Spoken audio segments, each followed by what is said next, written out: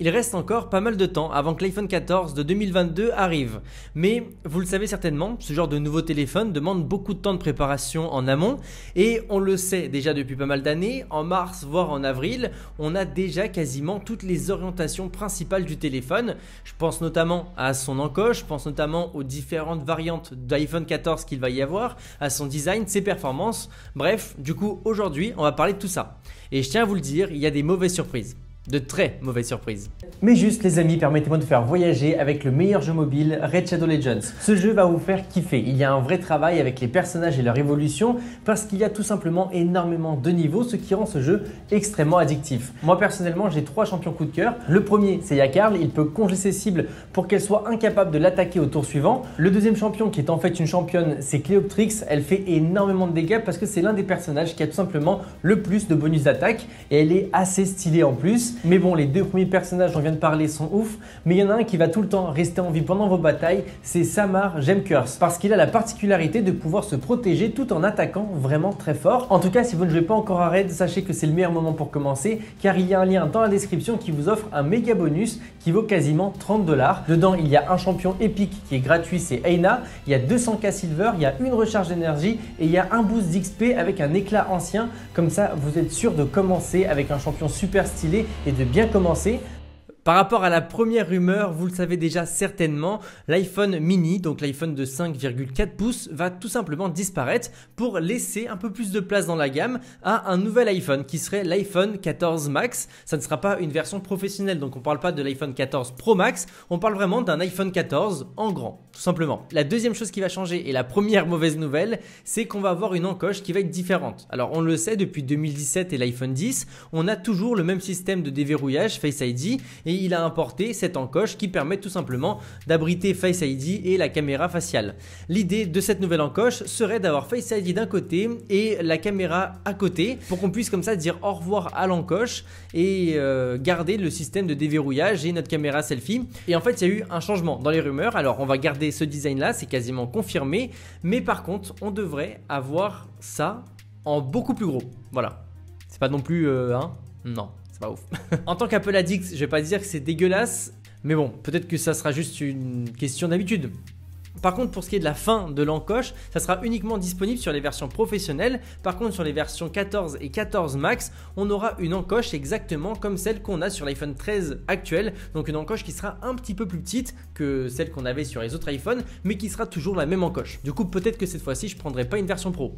Je sais pas. Par rapport aux écrans, on sait qu'il y a actuellement des écrans 120 Hz à taux de rafraîchissement variable, ce qui fait que l'écran passe de 1 Hz à 120 Hz pour économiser de la batterie et pour aussi apporter un sentiment de fluidité lorsqu'on est en train de naviguer parmi les petites animations ou tout simplement lorsqu'on est en train de jouer. Et là, il y a une autre mauvaise nouvelle, c'est que les iPhone 14 devraient rester sur les mêmes styles d'écran que ce qu'on a sur les iPhone 13. Du coup, on serait toujours sur les écrans OLED, mais on n'aurait pas cette histoire de rafraîchissement variable sur les iPhone 14, ce qui est quand même assez dommage. Honnêtement, je trouve ça assez dommage qu'aujourd'hui sur le marché, on ait des téléphones à 300 euros comme celui-ci qui puissent faire envier quelqu'un qui a mis 900 euros sur son téléphone. Après oui, c'est vrai, ce téléphone à 300 euros a peut-être juste un écran qui est meilleur que l'iPhone 13. Mais pour moi, quand tu mets 1000 euros, c'est que tu as un téléphone qui est parfait en tout point.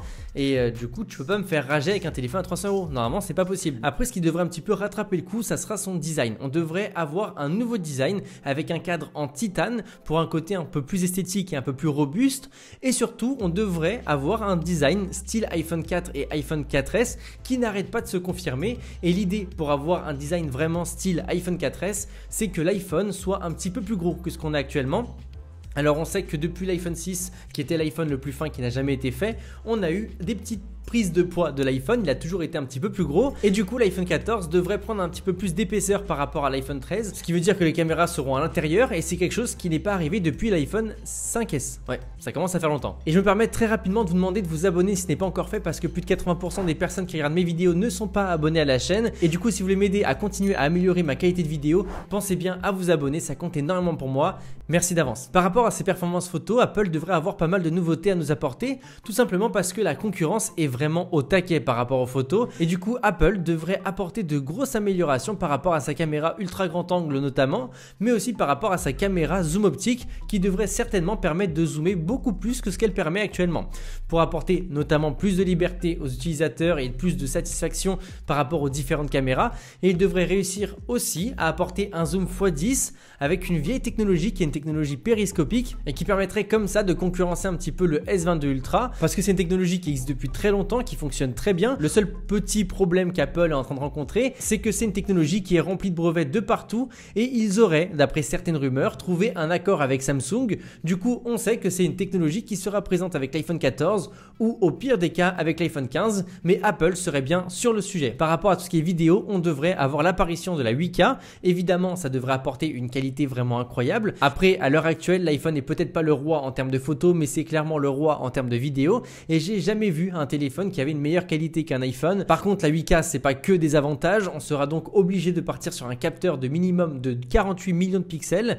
Et on le sait, quand on a autant de pixels, les photos en basse lumière par rapport à la caméra principale devraient être de moins bonne qualité. Mais d'après certaines rumeurs, Apple aurait prévu le coup avec une technologie qui permettrait de regrouper les pixels pour que ça fasse un capteur théorique de 12 millions de pixels, ce qui lui permettrait comme ça d'avoir une très bonne qualité en basse lumière et aussi avoir beaucoup de détails dans les hautes lumières. Ils sont quand même très très Et autre inconvénient de la 8K, c'est qu'on devra forcément prendre un téléphone de 1 Tera voire de 2 Tera, mais ça on en parlera juste après. Par rapport à ses performances, Apple, pas de surprise, devrait partir sur une puce A16. Donc chaque année, on a une nouvelle puce. Donc là, ça serait bien la A16. Elle serait en 3 voire en 4 nanomètres et elle devrait être beaucoup plus puissante et beaucoup plus efficiente que la A15 qu'on a actuellement parce qu'on le sait aujourd'hui, la puce A14 et la puce A15 n'ont pas d'énormes différences. Mais par contre, la mauvaise nouvelle, et j'ai envie de dire encore une, c'est que l'iPhone 14 normal devrait rester sur la puce A15. Donc c'est celle qu'on a actuellement. Et pour ce qui est de la puce A16 qui serait la nouvelle puce, elle serait uniquement disponible sur les iPhone Pro, donc l'iPhone 14 Pro et l'iPhone 14 Pro Max. C'est assez dur à croire, mais ça permettrait comme ça de montrer vraiment une différence entre les deux téléphones. Et ça permettrait comme ça d'avoir plus d'évolution sur l'iPhone 14, mais en gardant le même prix ou un prix assez raisonnable par rapport aux anciens modèles. Du coup, c'est ce qui me fait dire que sur cette version professionnelle, on devrait être sur une belle évolution globalement. On parle également d'une évolution qui sera assez importante en termes d'efficience, donc en gestion de l'autonomie, ce qui est depuis quelques années le nouvel enjeu d'Apple. Et je dois avouer que sur l'iPhone 13 Pro Max que j'avais pu tester, j'avais juste kiffé l'autonomie. Genre c'était incroyable d'avoir un téléphone qui me tenait un jour et demi, voire deux jours, et qui me tenait un jour en utilisation ultra intensive. J'étais jamais allé me coucher euh, pendant les 3 ou 4 semaines que je l'avais eu avec 0% d'autonomie. Donc ça c'était vraiment pas mal. Après par rapport à tout ce qui va être lié à la RAM, on devrait avoir 6 Go pour l'iPhone 14 et 8 Go de RAM pour les iPhone 14 Pro. Ce qui est voilà, bien et chez Apple de toute façon on n'a pas besoin d'avoir énormément de RAM vu que c'est tellement bien optimisé. Et après il va avoir une petite surprise vu qu'on parle déjà de performance. On devrait avoir la puce X65 de Qualcomm qui devrait apporter une 5G avec 10 gigabits, ce qui va permettre en gros d'avoir beaucoup plus de vitesse de connexion. Mais la vraie nouvelle fonctionnalité de cette puce là, ça va être tout simplement de mettre en place la possibilité d'envoyer des SMS d'urgence. Donc si par exemple on n'a pas de couverture cellulaire et qu'on a eu un accident de voiture ou autre, on pourra comme ça envoyer des SMS dans n'importe quelle situation dans n'importe quelle position géographique, ce qui permettra très certainement de sauver des vies. Et on sait qu'Apple est très lié à la santé et cette nouvelle puce devrait également être implémentée sur les Apple Watch. Donc on verra ça par la suite, mais ça pourrait être très intéressant. Après, par rapport au stockage, vu que je vous ai parlé de la 8K, on devrait toujours commencer avec 128 Go, mais par contre pour les versions professionnelles, on pourrait finir en 2 Tera, donc 2000 Go, tout simplement parce que la 8K prendrait beaucoup de stockage. Il y a aussi des rumeurs qui disent qu'on aurait un iPhone avec aucune carte SIM physique. Alors on sait, Apple travaille avec Orange pour les cartes eSIM en France, mais par contre, il y a plein de pays où ces cartes ne sont même pas encore disponibles. Du coup, j'y crois pas vraiment parce que si Apple fait ça, il devrait avoir deux iPhones, un iPhone qui serait compatible avec les marchés qui ont de la eSIM et un iPhone avec des ports de carte SIM. Donc en termes de logistique, ça serait vraiment pas intéressant pour eux et ils vont certainement attendre un an ou deux histoire d'attendre que tous les pays soient bien eSIM compatibles. Voilà. Il y a toujours des petites rumeurs qui disent qu'on devrait avoir un iPhone sans aucun port, donc aucun port Lightning et il se chargerait uniquement en MagSafe, donc c'est le chargeur aimanté, etc. Bref, j'y crois vraiment pas. La technologie MagSafe, c'est vrai qu'elle est bien, mais elle a quand même quelques défauts et je préfère largement charger en filaire à l'heure actuelle. Et je dis pas ça que parce qu'elle n'a pas une charge très rapide, parce que c'est vrai que 15 watts c'est assez lent, mais c'est vraiment parce que de façon générale, je trouve pas ça super pratique, même si dans certains cas, avec certains accessoires, ça peut être assez cool.